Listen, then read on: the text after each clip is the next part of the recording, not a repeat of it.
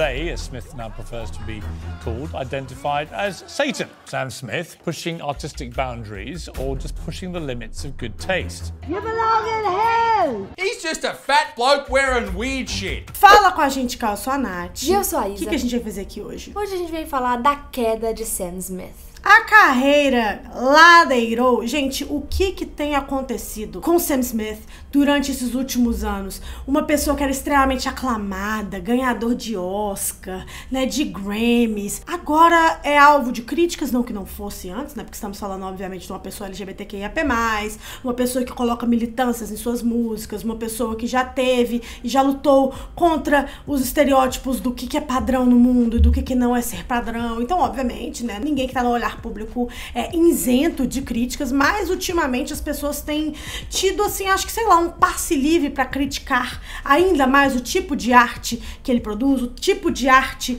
que ele faz e assim, as pessoas estão cada vez mais confortáveis em destilar os seus preconceitos. Será que algumas dessas críticas têm um fundo de verdade? Tem ali um motivo? A gente já teve até acusações seríssimas como satanismo, gente. Sam Smith vendeu sua alma para conseguir ir mais longe em sua carreira. O que, que aconteceu agora com a Anitta? Tava pra sair um feature, não vai mais. A gente vai contar tudo pra vocês, já que o nome de Sam Smith tá na boca do povo. Se inscreve no canal, dá like nesse vídeo, comenta pra esse vídeo chegar em mais pessoas. Nos ajude a bater 200k no canal. Vocês podem aumentar nossa família hoje, gente. E vai aumentar nossa família também lá nos Instagrams. A gente tá produzindo conteúdo pra vocês por lá. Nós temos Twitter também, onde a gente pode ter esse contato mais direto, porque aqui é só audiência e youtuber. Então, se você fica só aqui, você perde tudo isso. Bom, Samuel Frederick Smith, mais conhecido como Sam Smith, nasceu em 92 na Inglaterra e ele é um cara que já tá há muito tempo na indústria da música, tá, gente? Ele começou sua carreira lá em 2012, tem 12 anos nesse momento, quando ele emprestou a voz dele para algumas músicas de alguns DJs, como por exemplo Let da dupla Disclosure e La La La do Naughty Boy. E em 2014 ele lançou o seu primeiro álbum, In The Lonely Hour, que é responsável por vários hits como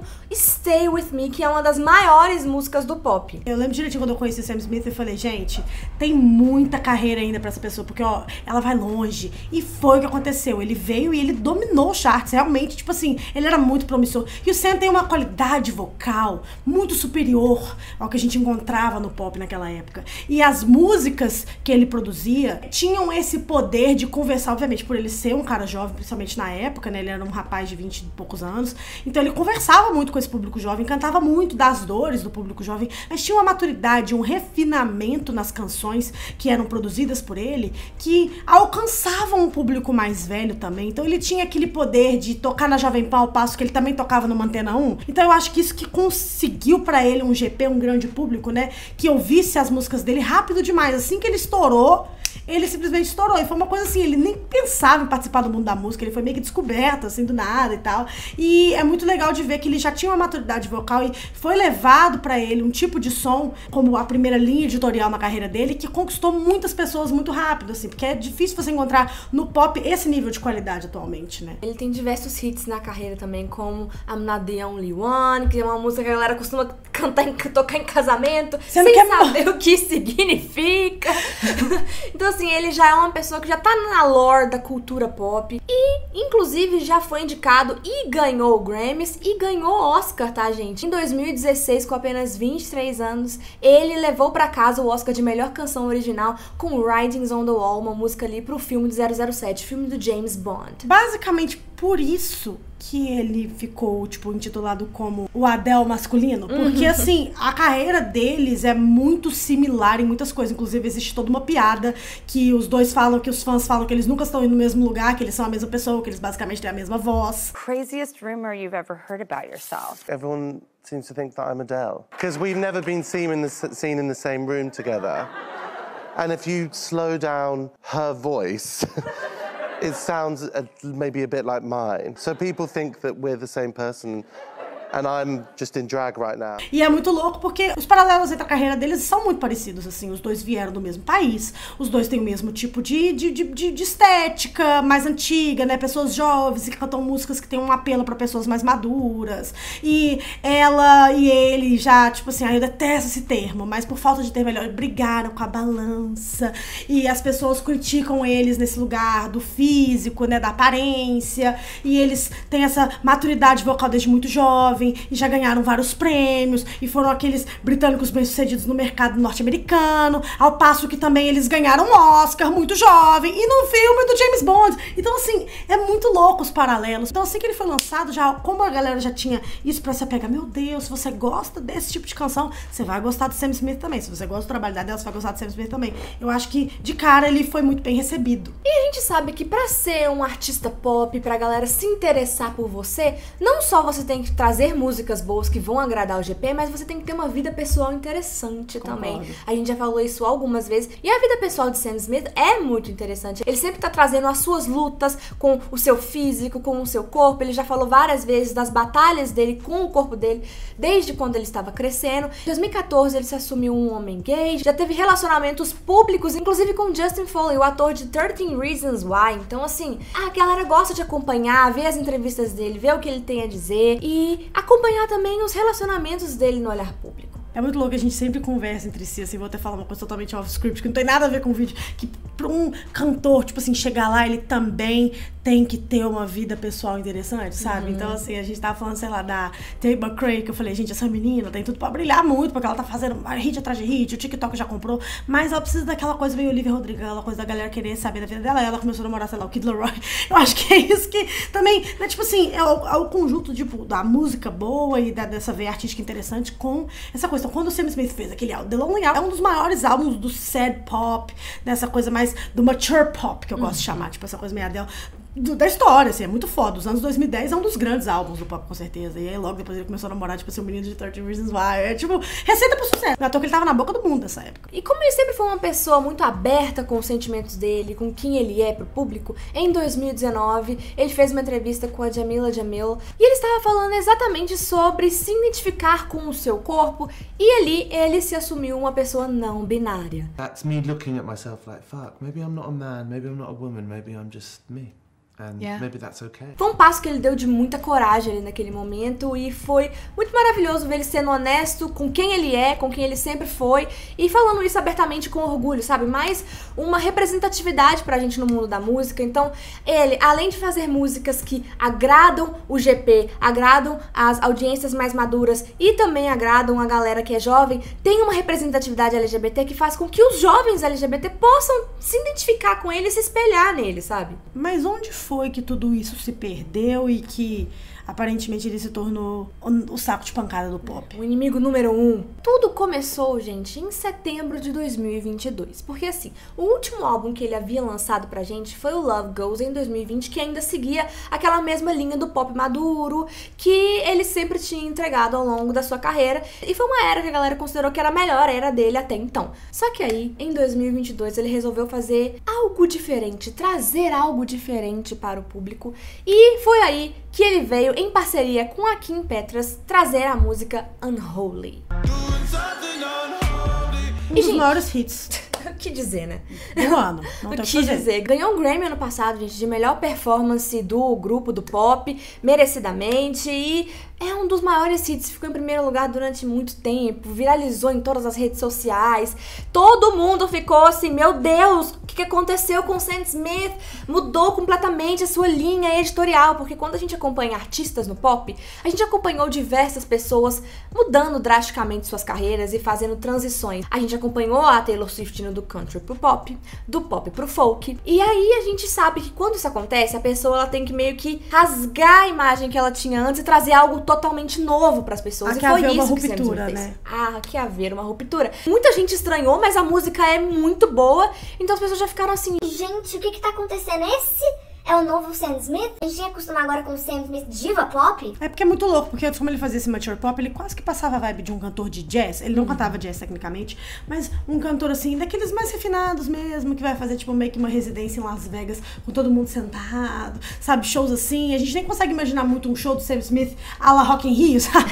E agora era isso que a gente tava tendo, tipo espetáculos gigantescos, pirotecnia, coisas que a gente talvez não associasse de cara às músicas do Sam Smith antes. E foi aí que as críticas começaram a vir rasgando pra Sam Smith. Primeiramente por causa do clipe, o clipe é bem provocativo, ele é bem explícito com a mensagem que ele quer passar, que é sobre sexualidade, principalmente traição, mostrando uma traição explícita em um relacionamento hétero. E então ele faz essa alusão que é aquela coisa que não é purificada, né? Unholy, que é o nome da música. Então ele faz essa jogada e isso deixou algumas pessoas bem assim com um pezinho atrás, porque foram vindo as performances da música e cada vez mais as promoções e até que chegou a fatídica apresentação dessa música no Grammy, que a galera odiou. A forma como eles promoveram essa era, a escolha editorial pra era era exatamente isso, já que a gente tá falando de uma palavra que é muito usada em circuitos religiosos, na Bíblia, em livros, assim, né? Desse viés religioso, a gente tá falando de coisas sagradas. Então, o que que é não sagrado de verdade, não purificado de verdade? Tipo, um relacionamento LGBTQIA+, que sempre apanhou tanto ao longo da história, ou héteros cis, que se fazem de bons cidadãos aí na sociedade, mas na verdade fazem essas coisas que pra igreja são abomináveis. Então, era uma linha editorial que eles escolheram de realmente trazer esse nível de provocação. Basicamente, eu não sei se era um ataque direto a qualquer tipo de religião, nunca foi explicitado isso, mas obviamente tinha alusão a coisas religiosas, eles estavam vestidos todos de vermelho, fazendo alusão a coisas infernais. Ele basicamente se vestiu de demônio, de satanás, assim, para performar ali no Grammys. E obviamente, se você tá pegando um cantor que mudou drasticamente sua linha editorial, anunciou que é uma pessoa LGBTQIA+, uma pessoa não binária, há muito tempo atrás, e agora tá mexendo com esse tipo de mensagem, você vai irritar um grupo muito específico de pessoas, principalmente pessoas conservadoras, entendeu? Não tinha como eles não falarem nada, porque toda vez, gente, que tem alguma coisa no mundo pop que choca, a galera já fica querendo comentar. Se tem alguma coisa que dá pra gente fazer conspiracionismo em volta, teoria da conspiração, ah, gente, quem é vivo sabe, quem é mais velho de casa que tá acompanhando a gente sabe que não se falava em outra coisa nos anos 2000, a não ser quem que eram os Illuminates da indústria da música. Quem que são as pessoas que venderam sua alma em troca de sucesso? E o Sam Smith sobe, em pleno 2023 num Grammy. Na época que tá todo mundo ali meio cabreiro com o Leon fazendo esse tipo de mensagem, com uma Doja Cat fazendo esse tipo de rebranding. Por que Tem essa galera jovem aqui que tem mais ou menos a mesma idade, que tá mais ou menos a mesma geração de músicos, fazendo esse tipo de rebranding. Ah, minha filha, isso é um prato cheio pra conspiracionista. Todo mundo tinha certeza que ele tinha virado satanista. E quando ele começou no ano passado a turnê Glory, a turnê do seu novo álbum, que tem várias performances gigantescas e bem provocativas, a galera continuou as críticas falando, gente, como assim?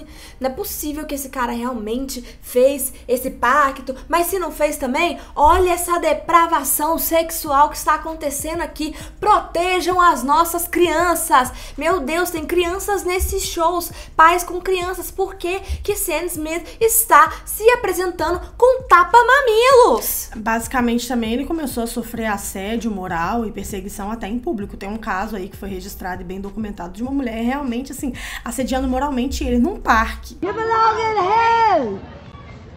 Sam Smith belongs in hell! You demonic, twisted, sick bastard! Leave the kids alone, you sick É, é, é bem desconcertante, assim, porque obviamente que o direito de uma pessoa começa assim que o outro termina. Então, assim, você não tem o direito de chegar, mesmo se você não concorda com práticas de alguma pessoa que você tem certeza que ela tá fazendo isso mesmo sem conhecê-la, você não pode chegar, você vai ficar assediando moralmente alguém. Eu não concordo com isso. Mesmo se ele tivesse literalmente subido no palco e falado, Jesus Cristo, tá tudo de ruim. Sabe, eu acho surreal. Eu acho que não é isso que pessoas que seguem esse tipo de doutrina e religião teria no espelho do seu salvador. É o que eu penso, sabe? Mas assim, várias coisas foram acontecendo e obviamente é um prato cheio para as críticas, só que algo além aconteceu. A gente sabe que a linha editorial veio para chocar, que a gente veio realmente para ficar assim meio consternado com toda essa situação, porque para muitos que não estavam nem no lado de tipo assim, isso mesmo, Smith, você arrasa, mas também não estavam do lado dos extremistas que estavam achando ele basicamente o filho de Satanás na Terra, estavam sem entender, de, tipo assim, eu não sei se eu amo, não sei se eu odeio. As músicas são boas, pois Sam Smith, ele não vai cantar nada ruim, ele é o Sam Smith,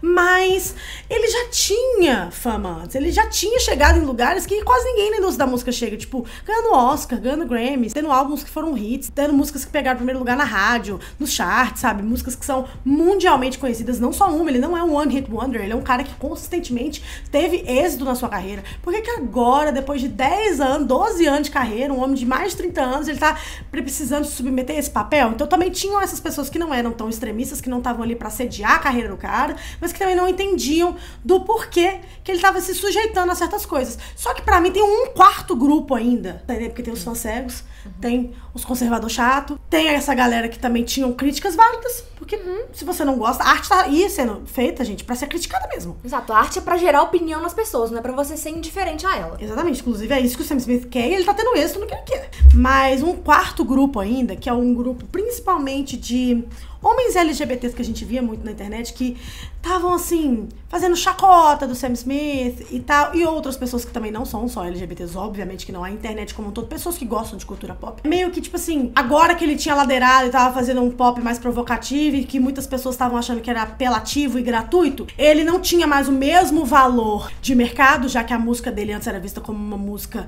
mais madura, erudita e mais bem trabalhada, um lado artístico mais aguçado, agora ele tá fazendo um pop mais básico então ele tava se expondo a um papel de ridículo, então tudo bem a gente falar que ele era um gordo, que ele era um feio, criticar o corpo dele, a aparência dele e a música dele. E assim, destilar os nossos preconceitos velados no on. O que mais parecia, gente, é que as pessoas que estavam falando essas coisas já pensavam isso antes, só que agora que ele meio que se banalizou, porque agora ele tá se colocando num lugar de diva pop, como agora ele tem um alvo grande nas costas dele, então tá tudo bem, ele é o alvo do ano? É, tá tudo bem a galera destilar o seu ódio que estava sempre guardado ali. A homofobia agora tá escancarada pra cima dele. Principalmente também a gordofobia. Gente, Sim. tá bizarro o tanto de chacota que as pessoas estão fazendo com o Sam Smith. Que parece que o Sam Smith só é gostável quando ele tá assim. Quando ele tá assim, não é tanto. A galera não, não gosta muito, não. Inclusive, quando as pessoas vão criticar as roupas que ele tá usando, não criticam apenas a roupa que ele tá usando, mas sim o corpo que ele tem pra usar aquelas roupas. É. Why is he dressing like that? Why? I do not get it. Like, I know people say all bodies are beautiful, but this is obvious evidence that anyone who makes that statement is a fucking idiot. Tipo assim, se ele fosse uma pessoa magra, talvez não estariam criticando tanto. Isso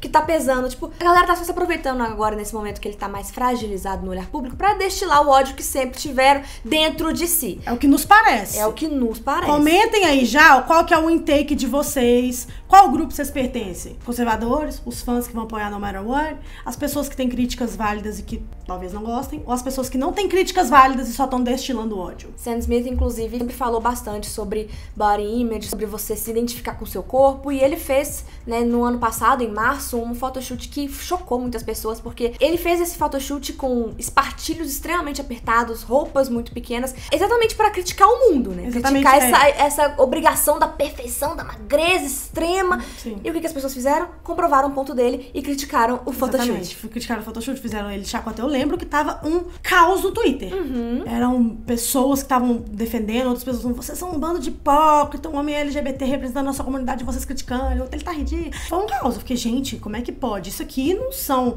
pessoas que simplesmente agora estão se posicionando contra isso. Isso são opiniões enraizadas que agora as pessoas estão se sentindo confortáveis de destilar e de expor. Tudo bem você não gostar da linha editorial nova dele. Tudo bem você ter ser críticas. Eu tenho algumas críticas. Eu que sou fã desde o debut, tenho algumas opiniões sobre as eras novas. Só que eu nunca vou chegar numa pessoa e assediar moralmente ou me sentir confortável de criticar algo que não tem nada a ver com a arte que ele produz, que é o corpo dele. A galera tá fazendo críticas ad hominem, não gosta da arte dele, mas tá atacando o corpo dele. Qual que é a lógica? E parece, gente, que todas essas críticas acabaram que afetaram até a Anitta. Respingou no Brasil! Respingou no Brasil, gente. Chegou na gente. O que, que aconteceu? Por que, que isso tudo tem a ver com a Anitta? Bom, a Anitta está aí no seu processo de começar a falar sobre o Funk Generation, que vai ser o seu próximo álbum. E uma das músicas era I Wanna Be, que tinha sido divulgado anteriormente como uma parceria com o Sam Smith. Tem foto dos dois, pelo visto, gravando o clipe juntos. Parece que foi gravado na Marquês de Sapucaí, no Rio. Que ia ser uma música pra comemorar o carnaval. Só que chegou nos últimos dias, gente, parece que eles tiraram a parceria da tomada, não vai acontecer mais. Ele não vem mais. Ela não vem mais. E a própria Anitta chegou a comentar em uma página no Instagram que tava falando sobre essa parceria e ela disse assim: gente, essa entrevista foi dada mês passado, ele cancelou o lançamento. Tivemos que reprogramar o plano de lançamento do álbum e assim que tiver a data vocês saberão. Não vai atrasar muito, todo o resto já está pronto. Amo vocês. Só que ela não chegou a dizer se, tipo assim, ele só não queria que lançasse agora porque ele queria que ver mais uma vez. Eu acho que a parceria foi cancelada, né? É, realmente a parceria foi cancelada e as pessoas começaram a se perguntar por que que isso teria acontecido. Muitas pessoas xingaram o Sam Smith, falou, Você vai Lollapalooza. Mas as pessoas começaram a especular do porquê ele teria cancelado essa parceria. Muitas pessoas acham que é por causa de todas essas críticas que ele vem recebendo, principalmente ao longo do ano passado, que são críticas extremamente pesadas que envolvem satanismo, gente. Então a galera acha que ele tá querendo fazer meio que uma limpeza de imagem. A performance dele no Spotify Wrapped de Unholy no ano passado foi uma performance mais clean. Ele tava com roupas normais, vamos dizer assim, e foi uma performance mais tranquila. A linha editorial no Instagram dele mudou. Se vocês forem na página dele agora, a equipe apagou várias coisas, só tem coisas bem mais limpas. Não Exato. tem nada que faça alusão a essa coisa meio tipo do satanismo e essa linha editorial que eles seguiram pra promover Unholy no, no auge da música. É. Então a galera acha que a equipe de Sam Smith pode ter pensado que essa parceria com a Anitta não Vamos colocar a linha na agora. fogueira, né? É, Agora a gente tá com uma linha editorial que, pensando bem, acho melhor não ter isso vai não. voltar, gente, umas casas que a gente já avançou. A galera já parou de falar disso um pouco. É naquela coisa, gente, no final das contas, a gente não tem certeza de nada, e que se foi feito por um propósito, não, satanismo, aqui. tudo isso são grandes teorias da conspiração. O que não é teoria da conspiração é a homofobia, a gordofobia que uma pessoa não binária tem sofrido nos últimos 12 anos da carreira que tem piorado muito agora, só porque ele quis se expressar de uma outra forma artisticamente. Muito bem, por sinal, porque as músicas continuam sendo ótimas e continuam tendo bastante qualidade. Qual que é a opinião de vocês sobre isso? Vocês acham que a parceria ainda tem chance de ver a luz do dia? Será que isso consegue ser salvo pelas equipes? O que, que vocês esperam da carreira do Sam Smith daqui pra frente? E do que que nesse vídeo, digo, em relação às críticas que ele tem sofrido, você concorda ou discorda? Comenta tudo aqui, passa esse vídeo adiante. E é isso, gente. Seguir a gente nas redes sociais. Tudo de sempre. Se inscreve no canal, dá like nesse vídeo. É isso. Um beijo. Tchau.